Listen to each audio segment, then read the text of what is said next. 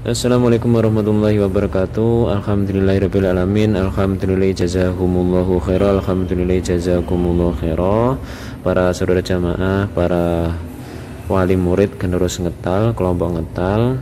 Kesempatan kali ini saya selaku KPM ngetal uh, Mensosialisasikan program kegiatan belajar mengajar Dari cabai sampai remaja Yang insya Allah akan Eh, kita mulai bulan depan. Jadi mohon amal solehnya untuk mengikuti video ini dari awal sampai akhir biar informasinya tersampaikan dengan maksimal. Oke yang pertama dari bapak ibu yang pertama uh, cabai rawit ya program kami yaitu uh, salah satunya ini laporan sholat wajib lima waktu. Ini diterapkan pada anak Eh, kelas 1 sampai dengan kelas 6 jadi untuk memberi pelajaran mengontrol waktu sholatnya.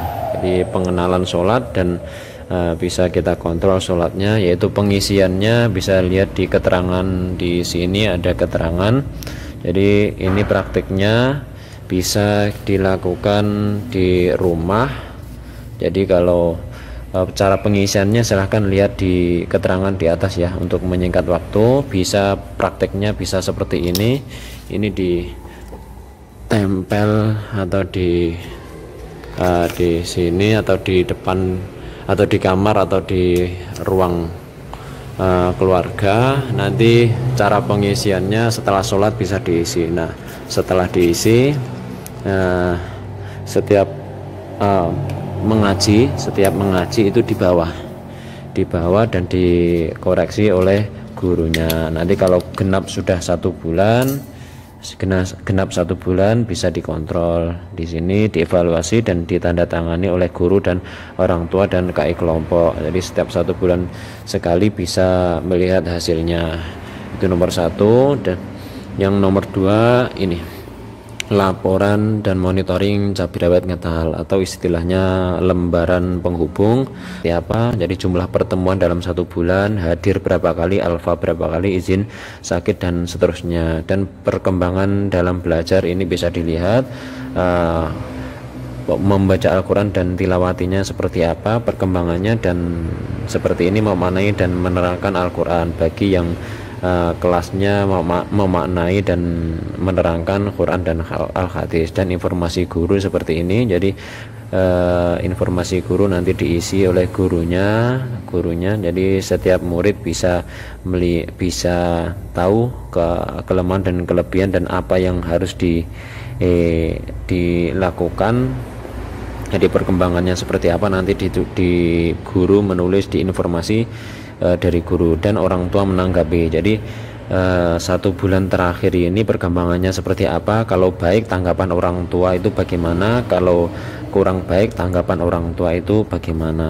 Dan di sini satu bulan sekali nanti dikirim ke masing-masing orang tua. Jadi diamplopi dan dikirim ke orang tua dan ini kalau sudah dicek di dicek dilihat nanti di awal bulan amal solih dikembalikan ke gurunya.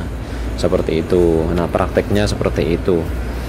Nah jadi istilahnya orang tua itu mengontrol kami kami memudahkan memudahkan orang tua mengontrol anak-anaknya perkembangan anak-anaknya lewat laporan ini. Jadi perkembangan dalam satu bulan terakhir itu seperti apa? Jadi orang tua bisa lihat langsung data statistiknya atau datanya seperti ini. Jadi uh, dimudahkan.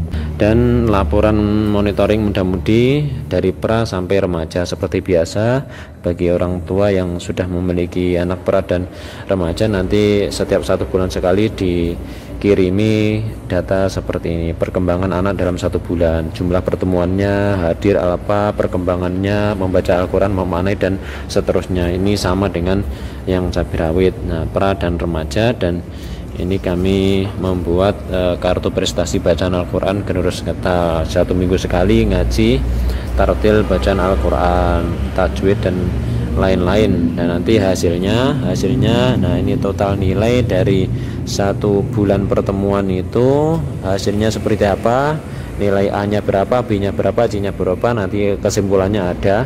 Nah, di banyak A nya berarti ya, bagus B baik C kurang D nanti perlu di uh, lagi untuk belajarnya. Nanti diisi di laporan monitoring mudah-mudi untuk bacaan Al-Quran baik sekali baik atau cukup kurang dan lain seterusnya.